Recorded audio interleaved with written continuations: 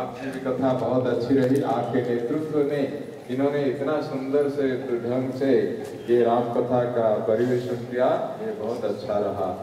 और ये बच्चों को भी, ये हमारे बालक भक्तों को भी बहुत बहुत बधाई हम देते हैं। इन्होंने बहुत अच्छी तरह अपना कला का प्रदर्शन किया और बाकी भक्ति भाव भी उन्होंने दिखाया कि भगवान की ये तो विशेष कृपा हम समझना चाहिए।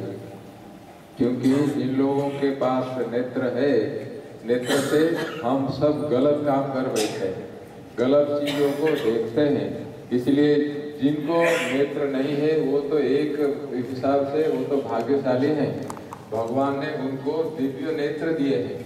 दिव्य नेत्र और भक्ति करने के लिए उनको भगवान ने रास्ता दिया है और इन लोगों जैसे भक्ति उन्होंने किया है, ये बहुत ही बड़ी बात है। तो इन सब का ये दिव्य चक्षु है। इसलिए इतने सुंदर भक्ति भाव इनका है। और जैसे कि सूरदास पहले थे तो कुछ ये 500 करीब साल पहले, वो जो सूरदास हुए थे, गुजरात के इतने बड़े भक्त थे, संत महापुरुष थे, वैसे हमारे जितने सब भक्त लोग हैं, ये भी वैसे ही सूरदास हैं सब। एक एक करके सूरदास है, बहुत अच्छी बात है। हम यही याचना का, आप सबको हम विशेष आभार प्रकट करते हैं, धन्यवाद देते हैं। कृतज्ञता भी हम प्रकाश करते हैं।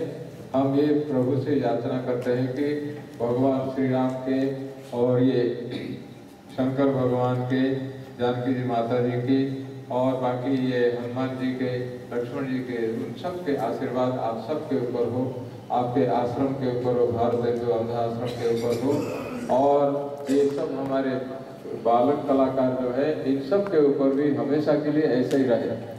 भगवान इनका कल्याण करे, उनको सुख, शांति, आनंद सब हमेशा प्रदान करे। और इनकी जो अभी भक्ति है, अभी भक्ति जो भाव है, इसको और ऐसे बढ़ाते रहे। भगवान का यही सबसे ऊँचा आशीर्वाद होता है।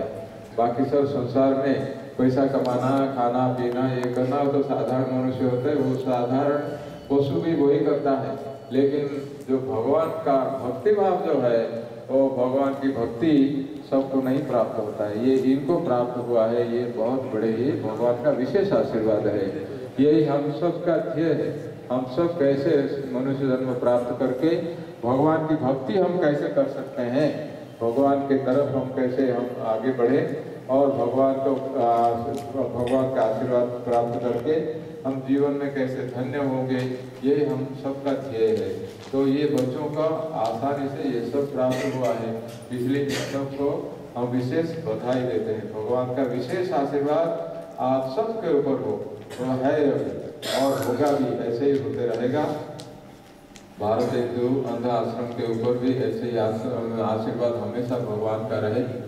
और भगवान के आशीर्वाद से आपकी संस्था अच्छी तरह चले और हमारे ये जो बालक, कलाकार सब हैं, बाकी सब सहयोगी जी सब आए हुए हैं, इन सब के ऊपर भी भगवान का आशीर्वाद हो। खास करके हमारे ये जो बालक, कलाकार हैं, भक्त सब हैं, बालक भक्त, इनके ऊपर विशेष आशीर्वाद हो, भगवान इनको सुख, शांति, आनंद और भक्ति हमेशा प्रदान करे। भगवान की कृपा दृष्टि इन सब के ऊपर हो, यही हमारी याचना है। भगवान इनका कल्याण करे। धन्यवाद हरिओम तक